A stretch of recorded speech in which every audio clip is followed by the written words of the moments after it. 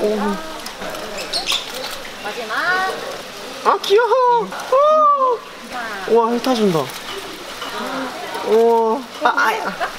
자 옛날에 햄스터를 키웠었는데 이름이 아롱이랑 다롱이었어요. 아롱이 다롱인가 생각나요.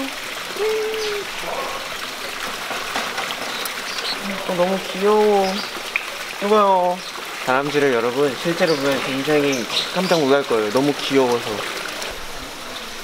oh my God. 오! 수빈아! 수빈아! 수빈 도련님. 딱 수빈인데 약간 겉모습은 귀여운데 약간의 공격성이 또 보이는 약간 수빈이 같은데요. 아 귀여워. 집에 야, 수빈이한테 그러지 마. 다행이다. 여기 옆에 있었으면 진짜, 큰일 날 뻔했어. 진짜 큰일 날 뻔했어.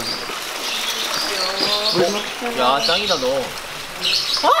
귀여워, 귀여워, 수빈아. 나도 해볼래. 나도 해볼 거야. 느낌 짱이라니. 아하. 내게 더 통통하고 맛있게. 내가 탈출시켜줄게. 문 열자. 아, 아, 아, 제발, 제발. 아, 아. 그래도 귀여워. 꼬마야, 수빈아. 수빈 일로. 수빈아. 수빈아, 운동하지 말고 일로 와. 수빈아, 그만 끼워도 돼. 수빈아, 수빈아. 수빈아, 어, 그렇지, 수빈아. 형한테 와. 수빈이. 어, 귀여워. 수빈이 여기 두 마리가 있다고. 수빈아. 진짜 수빈이 어딨지?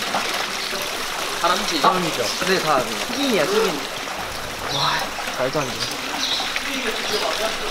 잃어버렸던 동생들을 여기서 찾았네. 진짜 귀엽다. 네가 더 귀여운데? 어, 귀여워.